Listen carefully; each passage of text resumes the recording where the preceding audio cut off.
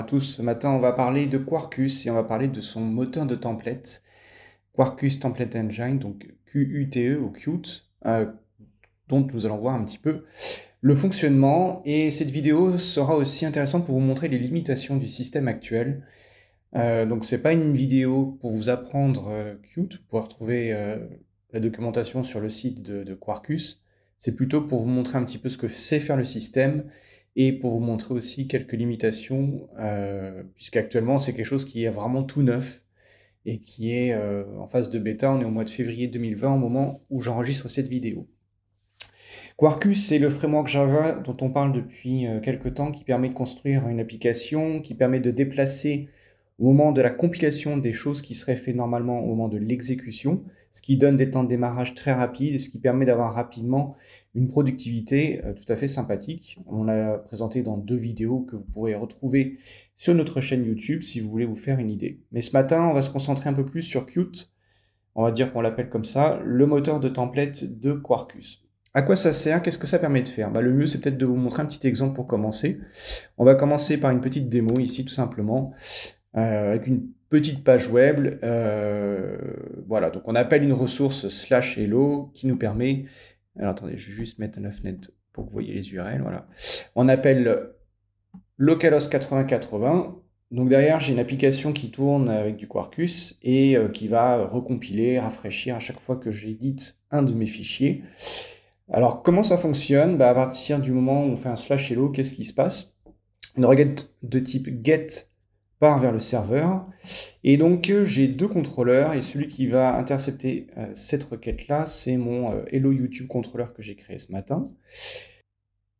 On a donc créé un contrôleur spécial, Hello YouTube contrôleur. Ce contrôleur, ce qui est intéressant, c'est de regarder en fait les imports. Et comme vous pouvez le constater, à part la partie Qt dont on va parler dans quelques instants, le reste finalement on le connaît déjà. Et c'est des technologies matures, stables, qui existent depuis longtemps dans le monde Java, ce qui veut dire au passage, c'est que bah, le coût d'entrée et le coût d'apprentissage de, Quarkus est très léger, puisqu'en fait, il n'existe pas. Quarkus est euh, essentiellement un framework qui va nous aider euh, à l'exécution, à la compilation, et euh, qui embarque quand même et qui propose quelques nouveautés. Donc, il y a Panache, dont on parlera dans une autre vidéo, qui permet de faire des entités et d'interagir avec la base de données. Et donc ici, on a Qt, le moteur de template. Donc, comment ça fonctionne Pour que votre contrôleur soit capable en fait d'appeler des templates et de passer des paramètres, vous allez devoir d'abord injecter euh, un engine qui va être utilisé bah, pour euh, justement euh, la construction de ces pages web. Et ensuite, vous allez injecter les différents templates dont vous allez avoir besoin dans ce contrôleur. Ici, vous pouvez très bien spécifier le nom d'un autre template, mais par convention, euh, par convention, en fait, le nom du template que nous avons ici correspondra au nom de la page que nous avons dans le répertoire ressources. Les templates, c'est quoi? Bah, Ce sont des simples pages HTML. Donc, on va ouvrir notre template le plus simple. Je vais vous masquer un petit peu la complexité du HTML. Je sais que même en 2020, ça fait encore pleurer certains. Mais euh, c'est une pauvre petite page HTML toute simple. Euh, et la seule chose particulière et qui est vraiment spécifique à la syntaxe finalement de, de Qt, c'est cette syntaxe-là avec les accolades. Donc, on peut se dire pourquoi encore une autre syntaxe et pourquoi ne pas utiliser une syntaxe existante. La, philosophie de Qt, c'est euh, handlebar, donc c'est plutôt le monde, du, euh, monde JavaScript finalement. Euh, donc on va voir que la syntaxe n'est pas très compliquée et qu'aujourd'hui on peut faire quelque chose, quelques trucs simples. Est-ce que cette syntaxe-là sera amenée à se complexifier? Je ne pense pas. Je ne pense pas que ça soit le cas. Il y a des travaux qui sont en cours, notamment sur tout ce qui est typage, pour que vos templates soient typés un peu plus fortement. Euh, on n'est pas au niveau de Twir, le moteur de templating de, Play Framework qui est beaucoup plus euh, avancé, mais on est euh, quand même relativement productif et la syntaxe reste simple. Nul doute que IntelliJ ou les autres éditeurs supporteront rapidement cette syntaxe. Donc ici, ce template-là, il n'y a rien de spécifique à Quarkus et à Qt. La seule chose qui est spécifique, finalement, c'est euh, cet indicateur, cette balise-là. Et donc, vous vous doutez bien que si, si je mets first name et que je viens dans mon code et que je spécifie mon paramètre, bah voilà, ma valeur first name sera passée euh, à mon template. Ce qui change, c'est que vos fonctions vont devoir retourner une template instance qui sera donc finalement utilisée par le moteur engine pour faire le rendu.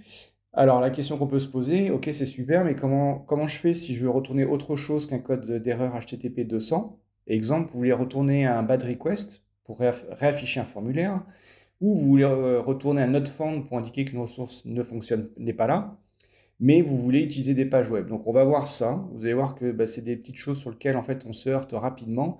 Et euh, ce qui va manquer aujourd'hui dans la documentation de, Qt, c'est justement ce type d'exemple-là. Encore une fois, Qt, c'est quelque chose qui est en phase de bêta. Donc c'est normal, il ne faut pas s'attendre encore à quelque chose de complètement terminé. La mailing list est ouverte, vous pouvez discuter avec le, développeur principal qui s'occupe de ça. Et euh, les personnes sont à l'écoute, je pense qu'elles sont simplement en demande de retour. Donc, comment ça fonctionne? Bah, Relativement simplement, le Hello Page, il s'agit du template euh, qui est injecté. Donc, on parle bien de ce template-là, avec euh, la possibilité de passer plusieurs paramètres. Si on regarde rapidement ce Hello Page, et si on regarde un petit peu ce qu'on peut faire avec, vous voyez, on ne peut pas non plus faire des tonnes de choses. Là où c'est intéressant, ça va être le render qui va nous permettre bah, de rendre notre template et de retourner un autre code euh, d'erreur HTTP. On verra ça tout à l'heure. Mais pour l'instant, voilà, vous voyez que euh, vous pouvez passer un objet ou en général, euh, vous allez passer plutôt un objet avec une clé pour que tout fonctionne. Et on verra aussi comment passer plusieurs paramètres évidemment un template. Donc j'espère que c'est clair jusqu'ici. Donc ici, on répond simplement sur un get. Euh, comment euh, on retrouve l'URL bah, C'est le pass que j'ai appliqué sur mon contrôleur, donc un slash hello. Euh, et puis voilà, c'est à peu près tout. Hein. Il n'y a pas grand-chose de, plus compliqué. Au, au, fur et à mesure dans cette vidéo, je vais aller vers des choses de plus en plus compliquées. Et euh, si vous voulez suivre sur votre ordinateur, vous pouvez récupérer le, code source, il est sur, euh, GitHub. Encore une fois, je mettrai les liens dans la description de cette vidéo. Que peut-on faire d'autre? Euh, On serait tenté bah, de faire des formulaires, par exemple. je vais tricher un petit peu. Avec la magie de IntelliJ, on va récupérer un petit formulaire que j'ai préparé tout à l'heure et on va regarder ce qui se passe. Voilà. Donc, ici, on récupère un petit formulaire qui va nous permettre d'appeler notre serveur et de soumettre notre euh, l'envoi d'une valeur. Et euh, là, on va avancer un petit peu innocemment et vous allez voir que ça ne se passe pas forcément comme on veut. Au passage, je ne sais pas si vous avez fait attention, mais regardez la vitesse de recompilation. Euh, clairement, on est dix fois plus rapide qu'avec du Play 2 et du Scala et du Java. Alors ne bâchez pas Scala, hein, c'est juste que pas du tout la même technologie. On n'a aucun typage fort ici, c'est très léger, c'est très simple. Donc forcément ça va beaucoup plus vite. Mais c'est très très appréciable euh, d'avoir quand même ici euh, une feedback loop, wow, super mot en anglais pour dire en fait euh, boucle de retour, très rapide. Et ça permet réellement bah, de, voilà, ici je tape du texte, voilà, et ici je rafraîchis, et voilà, ça s'affiche immédiatement, et tout vient de se recompiler, et Quarkus est même allé jusqu'à s'arrêter et redémarrer. C'est-à-dire que si vous regardez dans la console, euh, il fait quelque chose de, vraiment différent euh, d'autres frameworks. C'est que là, en l'occurrence, j'utilise une base de données euh, qui est dans un container Docker. Il va vider la base et la recréer parce que je suis en mode développement. Donc à chaque itération, je vais me remettre dans un état. alors ce qui peut être bien ou pas bien, hein, ça peut être embêtant que sa base de données se vide à chaque fois. Mais évidemment, ça c'est quelque chose que vous pouvez régler et que vous pouvez adapter différemment un petit peu plus tard. Une fois qu'on a dit ça, donc ce petit formulaire, allons voir ce qui se passe. Et donc ça va pas se passer comme prévu. Si, si je mets, euh, alors on va pas mettre Nicolas, on va mettre Bob. Euh, ça va pas vraiment se passer comme on veut. C'est tout à fait normal puisque le passage de paramètres ici, euh, il n'y a pas de routeur en fait. Dans Qt, il n'y a pas de routeur. Ça veut dire qu'il n'y a pas de système qui est capable de vous créer des URL compilés. Donc ça marchera si je fais ceci, d'accord? Mais ici, vous l'avez peut-être pas fait attention tout à l'heure, mais on voit bien que j'ai mis en dur l'URL euh, et qu'il n'y a aucun système de routage. Ce qui est, à mon avis, un souci. Pourquoi c'est un souci? Ben, Parce que sur des vrais projets de la vraie vie, vous avez 60 templates. Euh, c'est vraiment important d'avoir un système de routeur, euh, d'avoir un fichier texte qui permet de décrire le mapping entre finalement vos endpoints et ce que fait votre contrôleur. quel est l'intérêt? Bah, C'est que ici, si on avait ce système-là, on pourrait faire ce genre de choses. On pourrait demander à YouTube Controller de nous donner directement finalement bah, la, fonction qui nous intéresse. Donc là, elle s'appelle... Euh, c'est l'horreur, ce truc-là. Ah on va faire un say hello. On va lui donner un nom un peu plus sympathique. On pourrait avoir ce genre de choses, par exemple, qui serait remplacé euh, dynamiquement euh, au moment de l'interprétation. Alors, certainement que ça sera possible. Je pense que on pourrait euh, arriver sur ce genre de choses-là. Et on pourrait imaginer ici avoir une classe ou avoir quelque chose, une classe Java qui pourrait introspecter les annotations et nous permettre de le faire. Mais sachez qu'aujourd'hui, ce n'est pas le cas. Donc ça veut dire que vous allez devoir voilà, saisir en dur vos URL donc là, c'est un formulaire et vous le verrez tout à l'heure sur des liens de navigation. Euh, voilà. Pourquoi ça pose souci, encore une fois? Parce que quand vous refactorez votre application et quand vous revoyez votre schéma d'adressage, chose qui arrive franchement fréquemment si vous faites des applications web, euh, là, vous risquez en fait de casser des choses qui se passent dans la vue. Euh, il n'y a pas de couplage fort entre ces templates-là et la partie contrôleur pour l'instant. J'utilise le condition. Voilà. Aujourd'hui, c'est comme ça. Et à un moment donné, bah, peut-être que nous, Côté Lunatech, on s'y intéressera et on essaiera de proposer quelque chose. Donc, après, une fois qu'on a dit ça, qu'est-ce qu'on peut faire dans les templates? On va prendre un exemple un peu plus euh, avancé que vous commencez un petit peu à connaître. Alors, si je vais à la racine de, de, mon, truc, voilà, on va se mettre là. Euh, si on se met ici, on va reconnaître un petit peu bah, notre application Timekeeper que l'on a vu euh, plusieurs fois depuis deux ou trois vidéos. Et je vais vous montrer quelques caractéristiques intéressantes euh, pour que vous puissiez comprendre le fonctionnement de Qt. Première chose, donc slash times, d'après ce qu'on voit à l'écran, ça va lister l'ensemble du contenu de ma base de données. Et euh, donc, comment ça fonctionne? Bah, Notre contrôleur, Time Entry Controller, lui, il va répondre sur euh, la ressource slash times et il va être capable de répondre et d'envoyer des, pages. Ce que vous voyez là, c'est du server-side rendering, hein, c'est ce qu'on fait depuis plus de 20 ans, ça fonctionne très bien, il n'y a aucun framework JavaScript. Si c'est joli, c'est parce qu'on a utilisé Bootstrap. Il n'y a rien, il n'y a pas de JavaScript. Euh, tout ce que vous voyez, ce sont des pages HTML. Euh, c'est la méthode de Papy, mais qui fonctionne très bien. Et il faut voir qu'on fait quand même beaucoup d'applications comme ça aujourd'hui en 2020. Notre Time Entry Controller, Qu'est-ce qu'il y a à l'intérieur? On va retrouver euh, donc plusieurs templates, euh, et notamment le premier qui va nous intéresser, c'est celui qui va nous permettre de lister l'ensemble de nos euh, entrées en base de données. Comment ça fonctionne? Bah, On voit que quand on appelle slash times, on va répondre et on va avoir une méthode, une fonction list, pardon, une méthode, une méthode en Java, une méthode list qui est appelée, et que cette méthode list va nous lister bah, effectivement nos entrées ici euh, dans notre template qu'on va aller voir dans quelques minutes.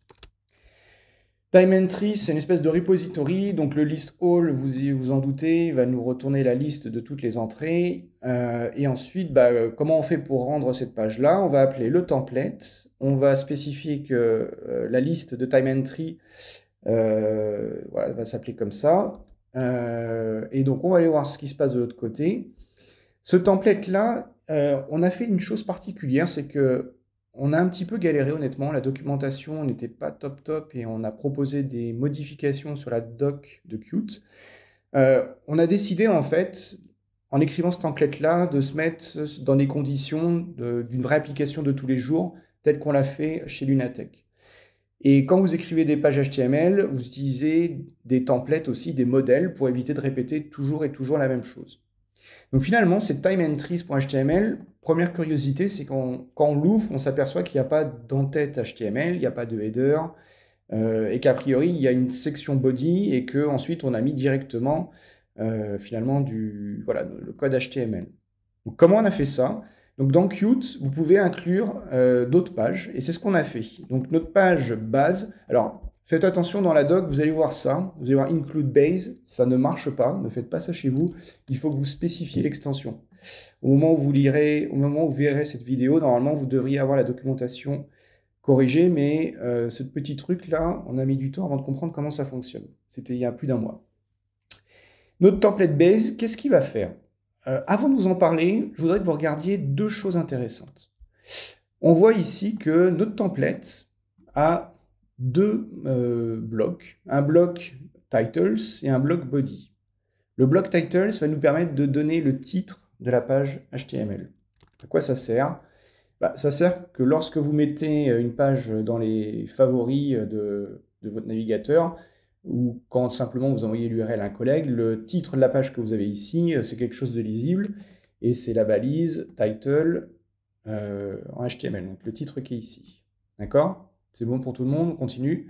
Donc, là, on va, placer, on va passer en paramètre à notre copain, là, le template base, on va lui dire de faire certaines choses spécifiques. On va lui dire que pour cette page-là, le titre, ça sera toutes les time entries de la base de données, d'accord? Et ensuite un bloc qu'on ira voir tout à l'heure. OK? Maintenant, la question, c'est qu'est-ce qui se passe finalement dans ce base.html Alors, vous pouvez l'appeler euh, toto.html ou ce que vous voulez.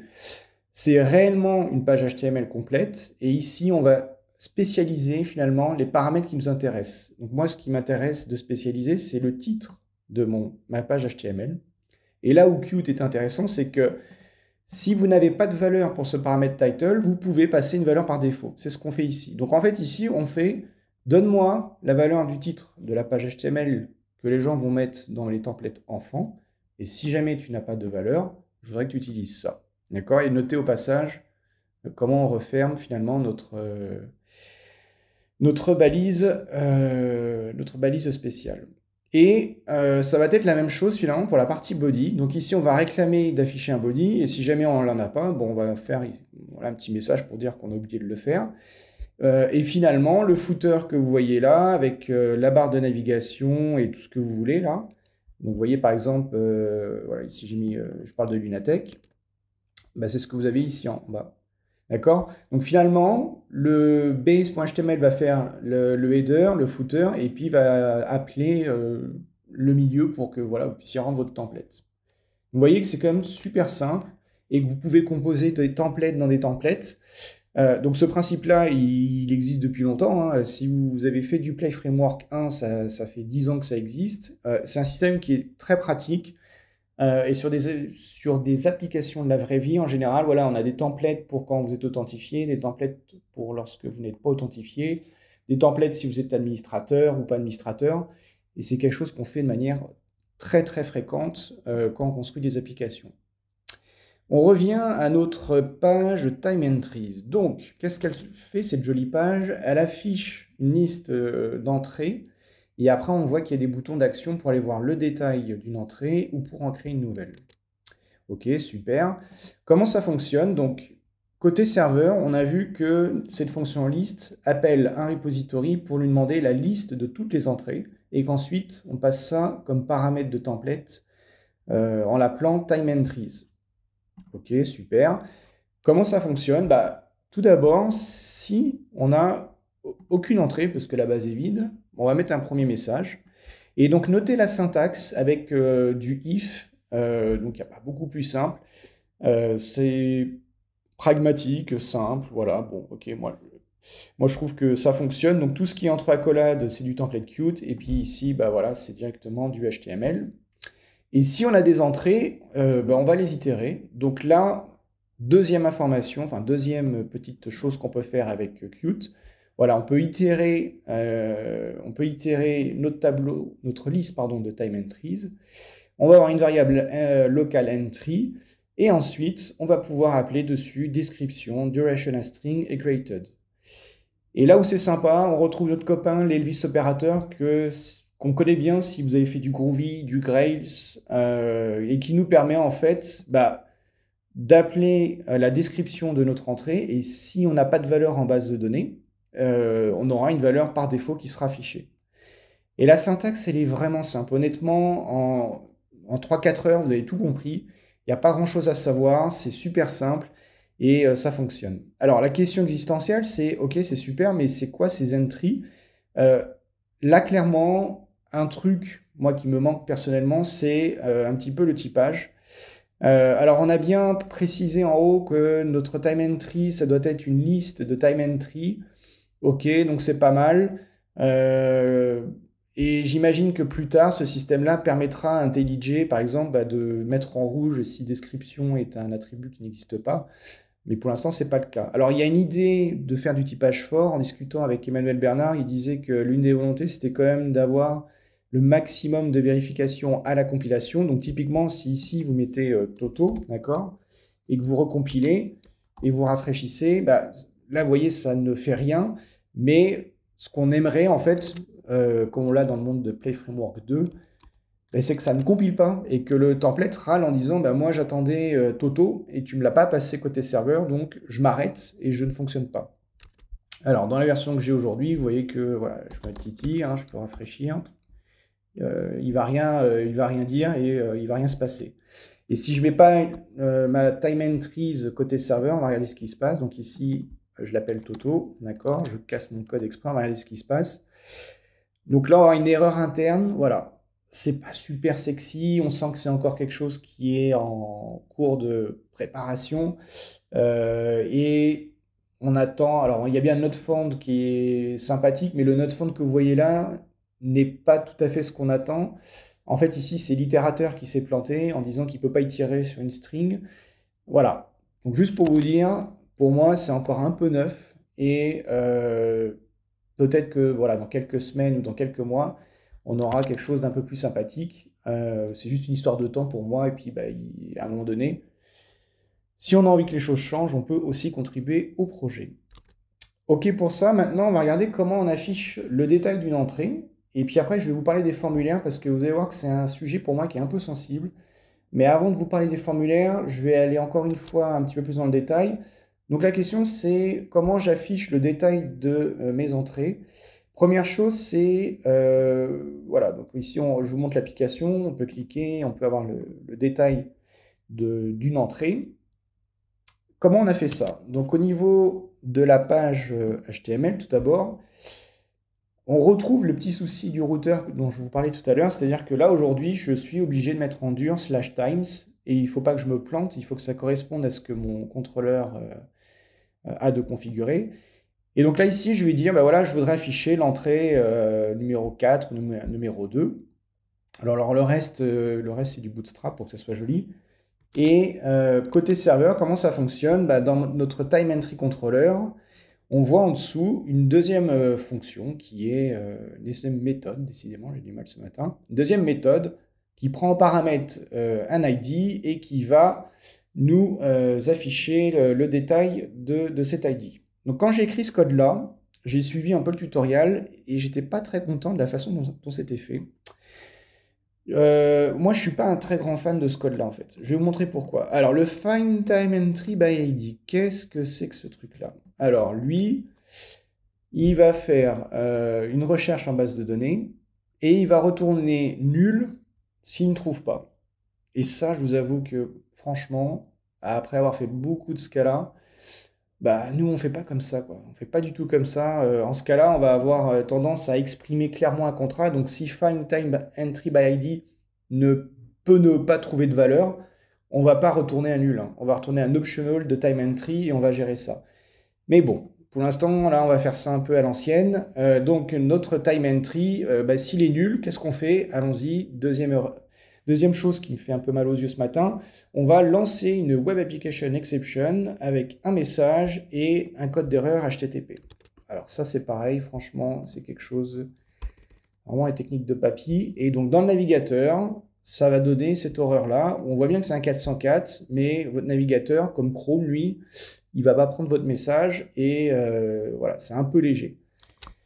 Alors c'est parfait pour faire du, euh, parfait quand en frontal vous mettez du JavaScript et vous faites Mumuse avec Angular et tout ça, c'est voilà, formidable, ça marche très bien. Et quand vous faites une application web server-side, c'est pas comme ça qu'il faut faire. Et on va voir justement comment on fait différemment un peu plus tard. Donc, une fois qu'on a bien bâché cette partie-là, qu'est-ce qu'il nous reste à regarder? Euh, Si on regarde le détail, alors on peut peut-être se poser la question comment on fait finalement pour euh, introspecter ces objets-là et afficher leurs propriétés? Bah, justement, là, Qt est plutôt bien fichu, euh, rien de spécial. Notre euh, time entry, finalement, euh, là, ce que vous voyez, enfin, le code que vous voyez est plus lié finalement aux interactions avec la base de données. Alors, quand on parlera de panache, je vous expliquerai comment ça fonctionne. Mais pas plus que ça. En fait, il n'y a, rien de particulier. Il suffit voilà, soit d'avoir des attributs publics. Donc moi, j'ai description, author, et c'est ce que je vous ai montré tout à l'heure. Soit des attributs privés avec des getters, des setters. Et, euh, et c'est tout ce qu'il y a à faire. À partir de ce moment-là, vous pouvez l'afficher sans problème dans votre template. Voilà pour euh, cet affichage euh, détaillé. cette histoire de Web Application Exception, pourquoi c'est pas top d'avoir un entry égal nul? Pourquoi c'est pas top d'avoir une, exception? Parce qu'en fait, quand on y réfléchit quelques instants, euh, ne pas trouver une entrée avec un ID, c'est pas une erreur technique, c'est une erreur métier. C'est-à-dire que euh, bah, utilisateur a gardé en bookmark, en favori, l'URL d'une ancienne entrée. Il n'y a pas de quoi lever une exception et de, se couper la tête pour dire qu'on l'a pas trouvé. Euh, ce qui serait plus propre, c'est de le gérer euh, explicitement et de ne euh, ne pas le faire de cette façon-là.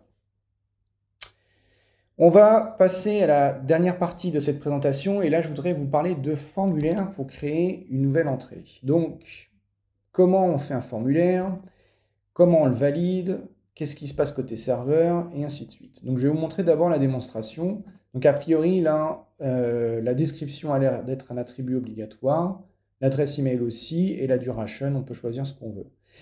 Euh, ok, super. Ben, enregistrement d'une vidéo, voilà. Et si j'oublie de mettre l'adresse email, par exemple, et que je clique sur sauvegarder, qu'est-ce qui se passe? Waouh, regardez comment c'est joli. On a une petite coche verte pour nous dire que ce champ-là, il est joli, il est bon, et que le champ adresse email, il n'est pas bon.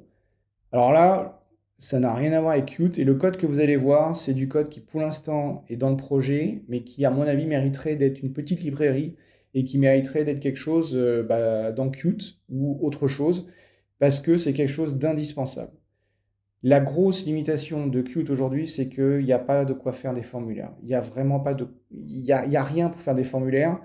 Euh, je ne sais pas si c'est prévu, si c'est pas prévu, mais on voit que voilà, c'est juste un moteur de rendu et que si vous voulez faire des formulaires qui se réaffichent avec des jolis euh, codes d'erreur euh, et ainsi de suite, bah, soit vous prenez du JavaScript côté front, ou soit vous faites ce qu'on va vous montrer là. Et encore une fois, ce que l'on a fait, je pense que ça mériterait d'être une librairie et ça mériterait d'être finalement identique à ce que Play Framework fait avec son système de Form Factory. Alors ce que je vais vous montrer, c'est la version Java de Play Framework, puisque dans la version Scala, on ne fait pas de la même façon. Avec Play Framework, en fait, c'est intéressant de regarder comment euh, la gestion des formulaires est faite, parce que je trouve que c'est quelque chose qui est vraiment mature pour moi, pour le coup, euh, qui fait que bah, quand on développe en Java et qu'on fait des formulaires, on a quand même des, choses assez sympathiques, euh, vraiment simples. Donc en fait, Côté Play Framework, comment ça fonctionne? On a une form factory qu'on injecte dans, dans, son contrôleur et qui va être capable de créer pour nous finalement et de gérer les erreurs d'un formulaire. Donc là, ils ont pris l'exemple d'une entité user, euh, voilà, un POJO très simple avec des attributs. Et alors, là où c'est un peu plus compliqué, c'est qu'il y a un fichier temporaire. On ne va pas regarder cette partie-là maintenant. Et comment ça fonctionne côté Play Framework? Euh, c'est relativement simple. On peut même définir les contraintes, euh, utiliser la GSR 380 bin validation, coucou Emmanuel, pour indiquer les attributs qui sont obligatoires. Et là où c'est cool, et là où vraiment moi je trouve que c'est cool, c'est que dans votre contrôleur, vous allez prendre votre forme et vous, allez pouvoir dire alors si elle a des erreurs, je voudrais que tu m'affiches une bad request et je voudrais que tu me réaffiches la page web en passant ce formulaire avec ces erreurs. Et s'il n'y a pas d'erreur euh, au moment de soumettre le formulaire, je voudrais que tu me récupères mon utilisateur et que par exemple tu me le persistes en base de données. Euh, c'est vraiment, vraiment super simple. Donc au niveau du code, on peut faire, alors attendez, je cherche un exemple, blablabla, on peut faire des trucs un peu, un peu pratiques. Et c'est ce qu'on a essayé de faire finalement, euh, c'est ce qu'on a essayé de faire avec le code que je vais vous montrer tout à l'heure. Donc côté Play Framework, dans le contrôleur, en fait, on injecte un form factory, qui est une classe euh, de play. Et cette form factory, on va lui passer en paramètre l'entité qui nous intéresse. Donc ici, c'est un user. Et on va avoir un form de user. Oh, une monade. Et eh oui, les copains, c'est une monade. Et cette euh, forme de user va nous permettre de faire des choses intéressantes, notamment de conserver les champs qui sont en erreur, de faire la validation et de réafficher un formulaire en indiquant les champs qui ne sont pas bons. Ok, je sais que tout ça, c'est un petit peu rapide et que on peut pas découvrir en 10 minutes comment fonctionne le Play Framework. Mais c'est pas grave. On va regarder ce qui se passe du côté de notre euh, jolie euh, application Quarkus avec notre petite, euh, petite fonction sympathique faite à la main. Donc, comment on a fait? Première chose, voyons notre formulaire. Alors, je reviens en arrière. Voilà. Quand je clique sur créer une nouvelle entrée, quand je clique sur ce truc-là, d'accord, une jolie page HTML apparaît avec des attributs et qui a l'air d'attendre voilà, que je saisisse des valeurs. Qu'est-ce qu'on a fait pour faire ça? On appelle un template New Time Entry, qui est un formulaire, euh, simple. On a euh, fait des petites choses sympathiques. Alors au passage, euh, il n'y a pas de protection CSRF dans vos formulaires post, donc ça veut dire qu'aujourd'hui on ne peut pas aller en prod avec ce truc-là. ça serait une mauvaise idée sur une application publique. Alors sur une application privée, protégée, authentifiée, on va dire que ça passe. Mais votre formulaire d'authentification sur votre site web, j'imagine que lui, bah, il sera dans la partie non authentifiée. Faites attention, aujourd'hui, il n'y a pas ces mécanismes-là. Euh, voilà. Une fois qu'on a dit ça, donc nous, on a essayé, alors on n'a pas de routeur, on, s'est quand même dit, on va essayer de passer au moins euh, finalement les URL d'action, on va essayer de les garder côté serveur, et on les enverra dans euh, les pages web pour que bah, si on change notre schéma d'adressage d'URL, on ne soit pas obligé de reprendre tous nos templates. D'accord? Première petite chose.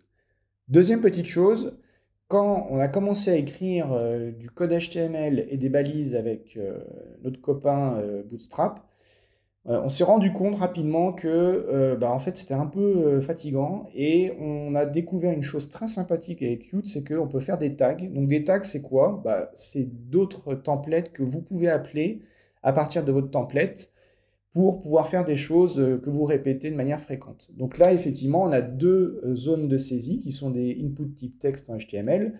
Et euh, voilà, avec un petit label, avec un placeholder, avec un texte de description.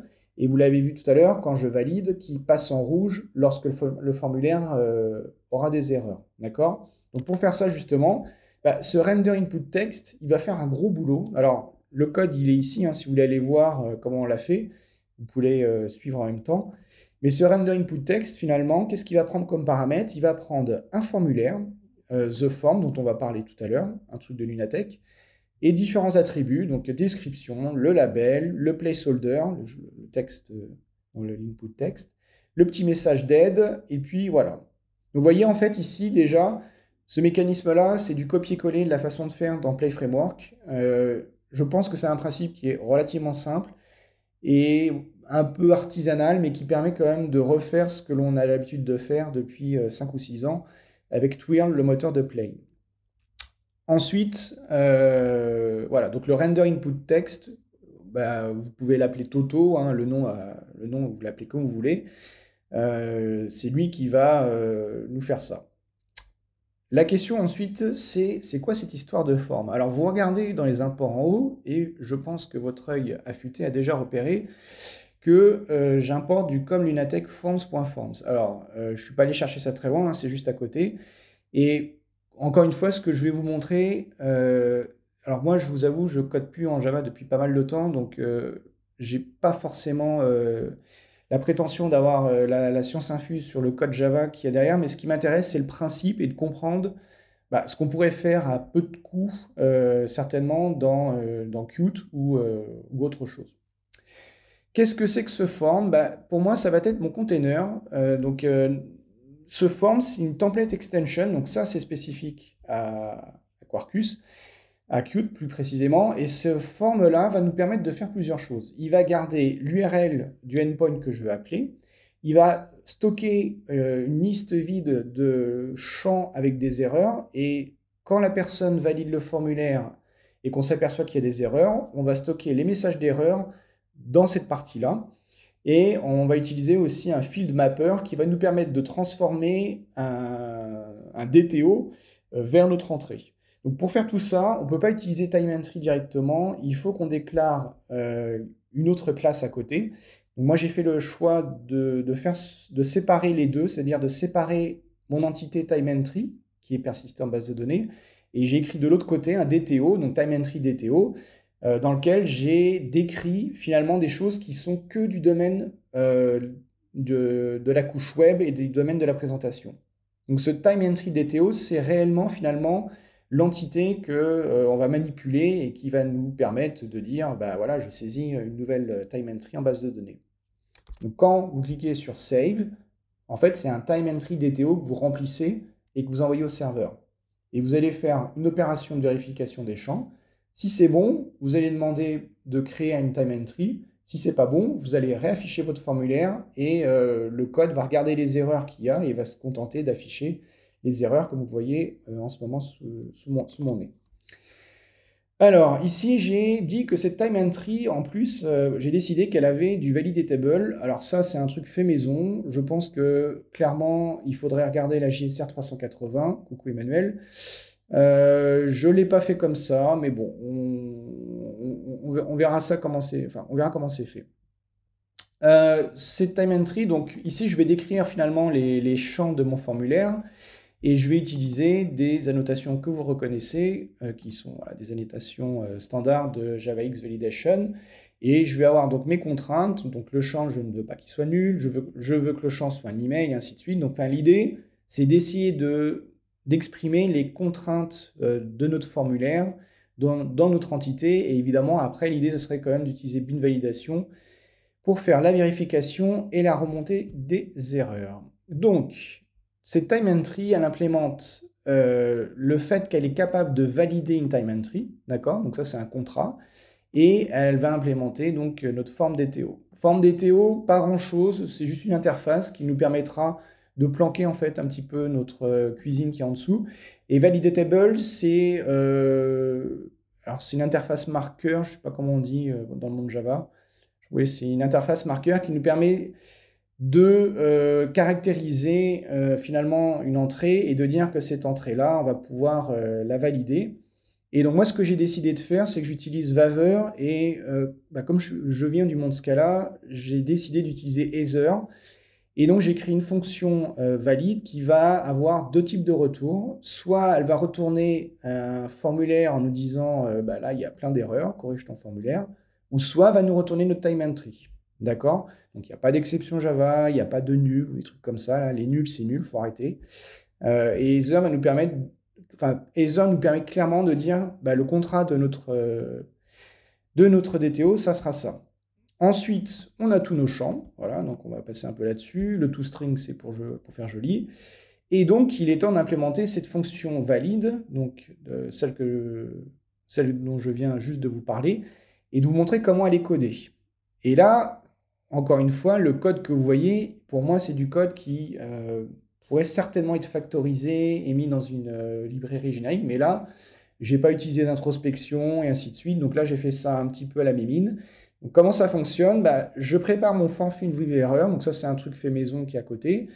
On va en créer un liste et ensuite, euh, bah, aujourd'hui, je, moi, je n'y connais rien à la JSR 380. Donc là, j'ai fait ma petite vérification. J'ai dit, bah, euh, je vérifie que l'attribut description, il n'est pas vide, que l'attribut author, qui est l'adresse email, n'est pas vide. Euh, tout ça, à la fin, ça va me créer un form field with error. Et soit il a des erreurs, soit ça se passe bien. Donc s'il a des erreurs, je vais créer un nether, un left, et je vais envoyer ça à l'extérieur en disant bah, ça s'est pas bien passé, ou soit il n'y a pas d'erreur, auquel cas je vais pouvoir euh, créer mon time entry, remplir mes champs, m'amuser. Donc là, moi j'ai besoin de transformer la duration qui est une string en une valeur, euh, j'oublie le nom de l'API là, comment ça s'appelle? En une duration tout simplement. Donc là, je fais des choses un peu spécifiques à mon, à mon truc. Euh, et puis voilà. De quoi avons-nous besoin? On a aussi besoin d'avoir quelque chose pour rendre notre formulaire. Donc c'est le getFeedValue, d'accord, qui est euh, hérité de l'interface euh, forme DTO. Donc ça nous permet de dire, bah, dans la page web, quand tu vas avoir besoin de parcourir un petit peu finalement les noms des attributs, bah voilà comment ça va se passer. Donc je lui donne euh, ici, je lui explique ce dont il a besoin. Et ça, ça, ça sera utile pour la partie rendue et euh, l'affichage des, erreurs. Donc ce code-là, il est discutable. Il a l'avantage d'être hyper simple, mais évidemment, sur un formulaire avec 500 champs, euh, franchement, je ne le sens pas. Mais euh, c'est pas grave, c'est juste pour vous montrer une idée. Et je pense que des personnes avec un autre œil feront des choses différentes. Et voilà. Donc, tout le code, pour l'instant, il est là-dedans. il y a des petites classes utilitaires. Il y a ce principe de, forme dont je vais venir vous parler encore dans quelques instants. Et puis, puis voilà. Alors, c'est pas du copier-coller, bien entendu, mais euh, je suis pas parti d'une page blanche, je suis parti du code source de Play Framework pour réfléchir comment c'était fait. Après, les philosophies sont tellement différentes euh, qu'en fait, on peut pas prendre euh, le principe de ce que l'on connaît dans le moteur Java de Play Framework 2, on peut pas le mapper comme ça.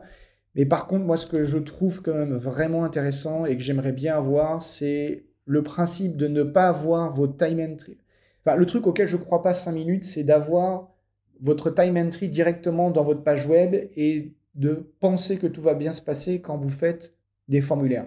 C'est pas vrai. Euh, la façon dont on fait des applications server-side depuis quelques années, c'est qu'on va wrapper les entités dans des classes qui vont nous permettre de nous aider. Euh, c'est l'utilité de la classe euh, form, et c'est vraiment elle finalement la plus importante. C'est cette classe-là qui va nous permettre de wrapper notre time entry DTO et qui va nous aider à faire un petit peu bah, toute la magie finalement de, ce qui va se passer au niveau de la présentation. Que vous dire de plus? Au niveau du formulaire, euh, ce que l'on peut regarder aussi, donc on a compris que, bon voilà, j'ai essayé de mettre les URI en dur, je pense que ça n'a rien à faire là, il faudrait que ce soit dans un système de routeur. Ici, on a notre petit container qui va garder nos erreurs, on l'a vu comment il se remplissait tout à l'heure. Ici, on va avoir le système de mapping pour pouvoir faire la correspondance de, nos champs. Alors, j'ai essayé de mettre un petit peu de documentation, de vous raconter aussi bah, les soucis qu'on a rencontrés et ainsi de suite. Et là où ça devient intéressant, c'est comment on gère les erreurs. Comment on fait pour que ici, euh, alors pas, pour avoir une petite boîte verte, une boîte rouge, hein, ça c'est du bootstrap, mais comment on fait en fait euh, Quand vous faites une erreur, ce qu'il faut comprendre, c'est que imaginez un formulaire avec 50 champs, d'accord? Et le 49e champ, la personne s'est trompée, et quand elle valide, qu'est-ce que vous devez faire côté serveur? Qu'est-ce que vous devez faire côté serveur? On va repartir du contrôleur, et on va regarder ce qui se passe. Donc quand vous sauvegardez votre, enfin quand vous appliquez, quand vous appliquez sur le bouton Save New Entry, qu'est-ce qui se passe? Un post est envoyé au serveur avec vos trois champs de formulaire. Ce post, il arrive ici. Première observation, c'est que cette fonction ne retourne pas un template, mais une réponse. Ah ah, qu'est-ce qui va se passer? Suspense insoutenable. Cette méthode save, euh, elle prend en paramètre notre... Euh, elle ne prend pas le, form que moi j'ai créé, mais là j'utilise RestEasy pour faire le unbinding, le unmarshalling des paramètres. Donc là, j'ai quand même pas réinventé la roue. Hein. RestEasy fait très bien son travail. Et RestEasy est capable de prendre les paramètres du formulaire HTML et de me donner une time entry DTO. D'accord? Dans Play Framework, non. Play Framework, lui, fait euh, l'entrée et la sortie. Donc ici, euh, on aurait typiquement, euh, bah, j'aurais dû avoir un at Lunatech form, je sais pas quoi. Euh, mais là, quand j'ai écrit ce code-là, j'ai décidé que la partie binding ne m'intéressait pas, le unmarshalling, et je me suis appuyé sur Rest Easy pour le faire. Franchement, c'est discutable. Pour moi, c'est si on commence à faire un système de formulaire pour le rendu, le traitement des erreurs, il faudrait aussi faire le parsing parce que du coup, on va faire du code en dessous dans notre fonction qui, en fait, n'a rien, rien, à faire là. Mais c'est pas grave. Donc, on arrive avec notre time entry et qu'est-ce qu'on fait? Là, je prends le moteur de validation qui est injecté dans mon contrôleur et je vais lui demander de valider mon time entry DTO. Donc validate, lui, si vous regardez sa signature, il prend un validatable de quelque chose. Euh, et là, en l'occurrence, merci Java, il sait qu'il va, euh, si je viens ici, voilà, il prend un validatable de quelque chose. Donc là, c'est un validatable de, notre time entry. Et euh, il va faire la vérification, appeler le code qu'on a vu tout à l'heure, et on a deux types de retours. Donc un Ether, bienvenue dans monde fonctionnel les copains. Un Ether, c'est une classe, c'est un type, pardon, voilà, un Ether, c'est un type, ne tapez pas dessus, qui nous permet euh, de représenter euh, un panier avec deux cases, et ces deux cases ne peuvent pas être remplies. Donc ce Ether, c'est soit un left, soit un right, et euh, c'est un moyen très simple d'exprimer dans un type que bah, une fonction peut retourner un cas ou un autre. En général, à quoi ça sert, comment on s'en sert? Un Ether, ça permet d'indiquer les traitements qui sont tombés en erreur et on les met par convention à gauche, on un left, et ce qui se passe bien, on le met à droite, à right. Pourquoi c'est intéressant? Parce que les Ether, vous pouvez les combiner. Donc là, il n'y en a qu'un seul, mais vous pouvez enchaîner, vous pouvez en avoir plusieurs. Et là où c'est intéressant, bienvenue dans le monde fonctionnel, c'est que quand vous avez plusieurs traitements, vous pouvez par exemple euh, faire un traitement pour valider votre formulaire et un autre traitement pour valider qu'un web service, je sais pas, il trouve que votre time entry DTO il est bon. Et là où c'est intéressant, c'est qu'ensuite vous pouvez chaîner par exemple les erreurs et quand euh, vous aurez terminé, vous allez pouvoir donner la liste complète de toutes les erreurs à votre euh, utilisateur. Donc l'intérêt de faire cette approche-là, au lieu d'utiliser des exceptions ou je ne sais quoi, c'est que vous pouvez composer les choses.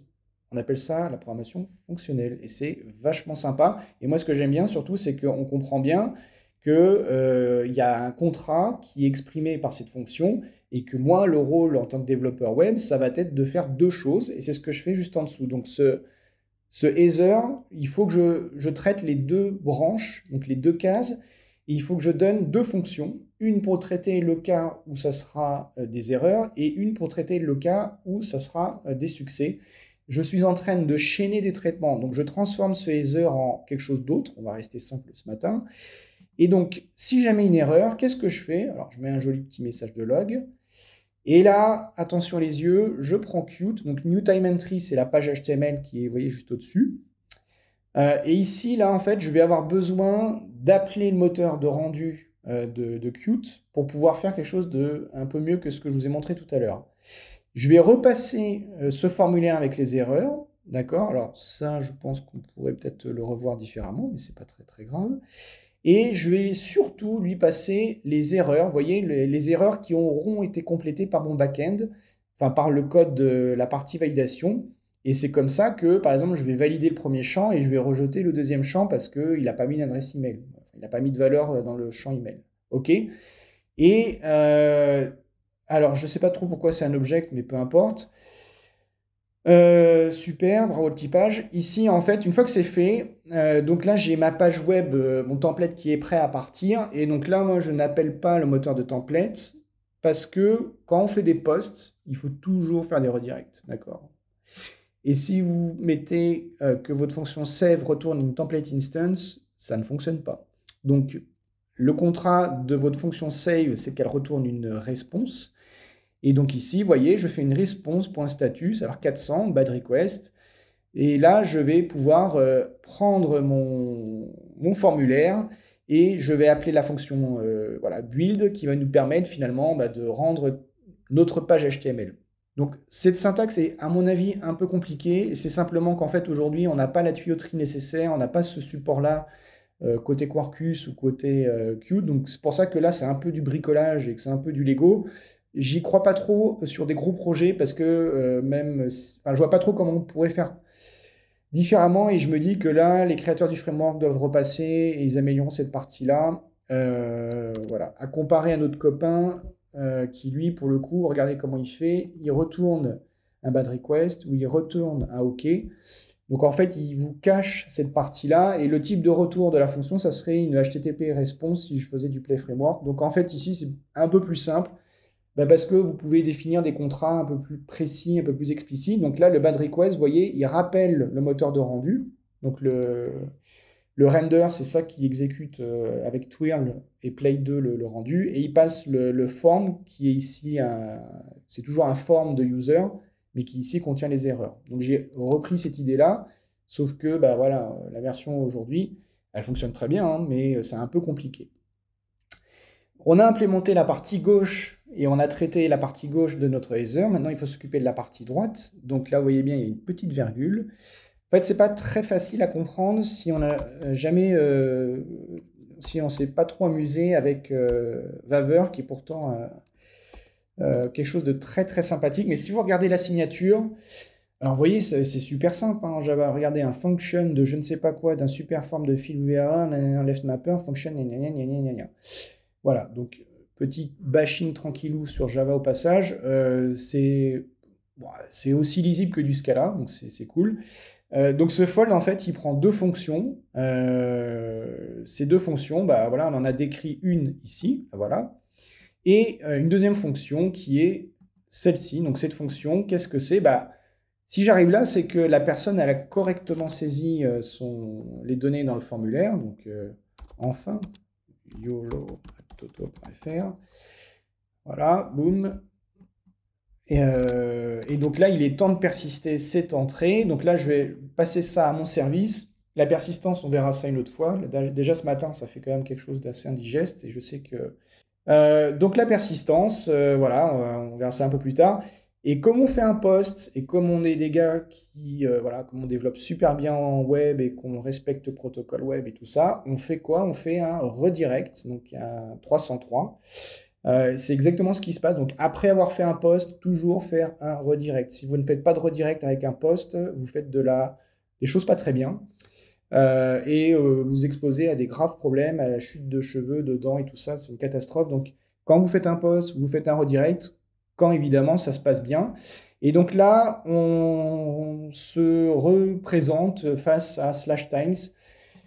Encore une fois, je trouve que l'API ici, là, elle n'est pas encore euh, super, super fun, parce que là, être obligé de passer euh, une URI location, alors que depuis tout à l'heure, bon, on n'a pas trop fait, je trouve ça un peu bizarre. Mais bon, c'est comme ça que ça fonctionne. Voilà, donc j'ai terminé pour cette partie-là. Vous venez de voir euh, comment on fait un formulaire. je vous ai expliqué comment, moi j'ai essayé de refaire ce système de formulaire et de validation et pourquoi pour moi c'est quelque chose d'important. Euh, je pense que cette présentation, elle est aussi pour les personnes qui développent et qui font, euh, qui font Qt et qui font euh, Quarkus. Moi, j'aimerais aussi bah, voilà, avoir du feedback et certainement essayer de faire quelque chose de mieux.